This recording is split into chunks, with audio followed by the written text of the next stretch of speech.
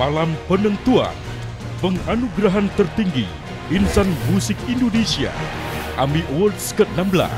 Saksikan malam puncak anugerah musik Indonesia ke-16, Selasa 2 Juli jam 9 malam, live dari Studio 8, eksklusif di LGTI.